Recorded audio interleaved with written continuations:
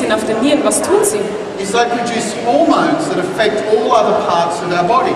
Und diese Nebennieren sind zuständig für die Hormonproduktion oder für einen Teil der Hormonproduktion, der wiederum Effekte hat über den ganzen Körper. So, in the first stage of stress, Im ersten Stressstadium nun the adrenals secrete adrenaline erzeugen die Nebennieren das Adrenalin and noradrenaline, und auch Noradrenalin. and ad- adrenaline affects all parts of the body, causing the fight-flight response. Und das Adrenalin, wie schon vorher erwähnt, hat Effekte weitreichend im Körper und verursacht diese äh, Angst-Schreck-Reaktion, Kampfflucht. Noradrenaline, on the other hand, Noradrenalin auf der anderen Seite works together with the kidneys to raise our blood pressure. arbeitet zusammen mit den Nieren, um den Blutdruck zu steigern. Okay, so the, the stress response is hormonal response. Also können wir sagen, Sch- die Stressreaktion ist eine hormonelle Reaktion. Fight, flight. Es geht hier um Kampfflucht. Okay, the second stage of stress Zweites Stressstadium. is the adrenals secrete a hormone called cortisol, Und hier im zweiten Stressstadium äh, schütten die Nebennieren das Hormon Cortisol aus. and cortisol has widespread effects. Auch das Cortisol wiederum hat aber jetzt sehr weitreichende Effekte in unserem Körper. It actually affects our DNA Es hat sogar Effekte auf unsere DNA and changes the way our cells function in an, in an attempt to adapt to a dangerous situation over a long period of time. Und diese Veränderung in der DNA oder auch bekannt als DNS ähm, führt natürlich zur Veränderung dieser Zelle oder einzelner Zellen, um sich wiederum der stressigen Umgebung oder dem Stress besser anpassen zu können. It affects the immune system, Es hat dann natürlich weitreichende Effekte auf das Immunsystem, the nervous system, das Nervensystem, the hormonal system, das hormonelle System, our emotional well-being, aber natürlich auch, wie wir uns fühlen, unser Emotion, emotionelles Wohlbefinden. If one of the effects of cor- cortisol is emotional reactivity. Und eins der Effekte von Cortisol ist praktisch die emotionale Reaktivität. Have you ever gone home, hi, how are you? And you get your head bitten off. Rawr. Ist euch schon mal passiert, dass ihr nach Hause gekommen seid und gesagt habt, ja hallo, wie geht's dir denn? Und dann hat jemand euch den Kopf abgebissen? Cortisol. Cortisol. It affects our energy levels. Es hat auch Effekte auf unsere Energielevel. Ja? And this, the following consequences, you can cause attention deficit disorder, Und folgende Konsequenzen kann dies dann wieder haben. Aufmerksamkeitsdefizitsyndrom, ADHS, diabetes, Diabetes, psychosis, Psychosen, burnout, natürlich Burnout, ausgebrannt zu sein and all other kinds of health problems. und noch viele weitere gesundheitliche Probleme. Now, earlier on, I quickly brought in the energetic structures. Und wir haben ja kurz schon vorgestellt die energetische Struktur. Okay? And now I want to show you a, a model of how, by working with energetic structures, you can affect the effects of stress in your body. Aber wie kann es jetzt nun sein, dass wenn man mit der energetischen Struktur arbeitet, dass das wiederum einen Effekt hat auf den Körper, wenn man gestresst ist? Ich gebe euch ein Beispiel. So here we've got down there our anatomical structures, which include our adrenal glands and their hormones. Und hier haben wir im zweiten Dreieck die anatomische Struktur, darüber die energetische Struktur. Und die anatomische Struktur natürlich beinhaltet die Nebennieren und auch die Hormone. And in between that, we've got the nervous system. Und dazwischen haben wir als Verbindungsstelle das Nervensystem. The nervous system is like a point of interaction between the energetic structures, but also it interacts with our anatomical structures. Das Nervensystem funktioniert hier als Art Interaktionsstelle zwischen, dem Energie, zwischen den energetischen Strukturen und der Anatomie und Physiologie. So let's have a look how chemicals communicate within our body. Also schauen wir uns jetzt mal an, wie biochemische Botenstoffe kommunizieren in unserem Körper. And again, we've got another triangle. Und hier wieder, wir haben ein weiteres Dreieck. Um, and so the chemical messengers are called hormones or neurotransmitters. Und als chemische Botenstoffe kennen wir zum einen die Hormone, aber auch die Neurotransmitter. Okay, and so you have interaction between the nervous system Also haben wir hier eine Interaktion zum einen zwischen dem Nervensystem, the endocrine system, which is our hormonal system, dem endokrinen System, das ist ja unser Hormonsystem, and the immune system. und hier zum anderen dem Immunsystem.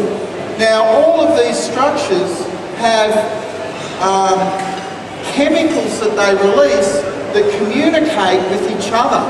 Und all diese Strukturen, die jetzt hier angesprochen wurden, haben natürlich biochemische Botenstoffe, die interaktiv mit allen verschiedenen Systemen kommunizieren können. So, for instance, when the endocrine system releases cortisol, Zum Beispiel, wenn jetzt hier das hormonelle oder endokrine System das Hormon Cortisol ausschüttet, one of the effects is to inhibit the immune system so you're more prone to health problems. ist ein Effekt von dem Cortisol das Immunsystem zu unterdrücken. Das heißt, ihr werdet anfälliger für irgendwelche gesundheitlichen Probleme.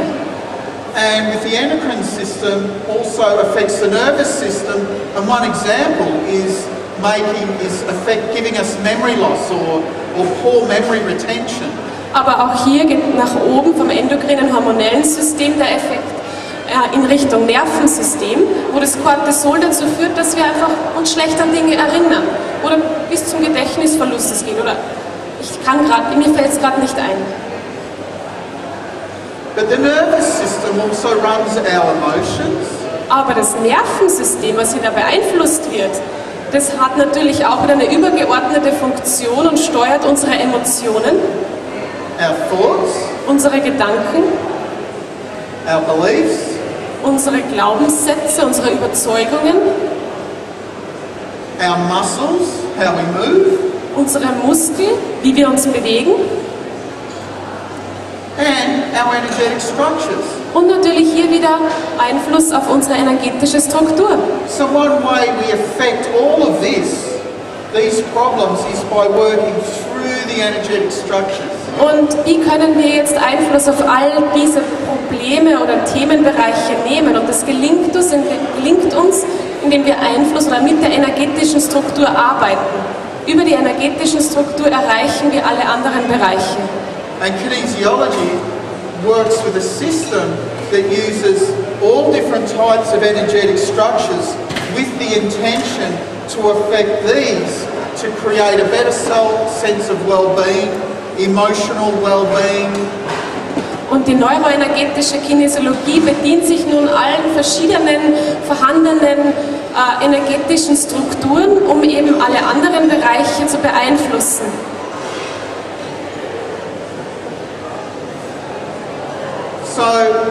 And, and, and this is how with this system um, the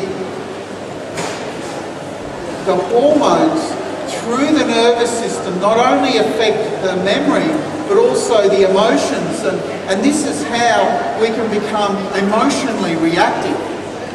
Und es ist nun so, dass praktisch hier das, die Hormone, das Cortisol natürlich unser Nervensystem beeinflussen kann. Und über das Nervensystem werden ja wieder die Emotionen beeinflusst und so werden wir sozusagen reaktiv. Ja? Okay, how about I do a little demonstration of how it works? Also wie wäre es denn, wenn er jetzt eine kurze Demo machen würde, damit man so ein bisschen Bild kriegt, wie das funktioniert? Who would like to come up and Wer wird gern nach oben kommen und einfach das mal ausprobieren oder mal sehen, wie das funktioniert? and see if they've got any stress? Mal schauen, ob, ob ihr da vielleicht Stress habt. Or are we all stress free? Oder seid ihr alle stressfrei? I have to do the camera. Okay.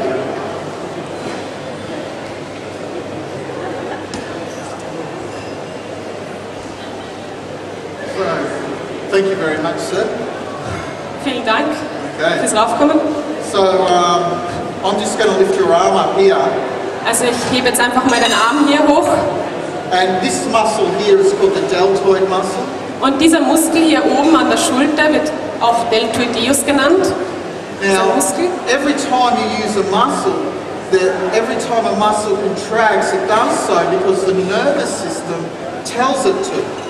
Und jedes Mal, wenn ein Muskel sich kontrahiert, zusammenzieht, dann tut er das, weil er natürlich Anweisungen vom Nervensystem bekommen hat, das so zu tun.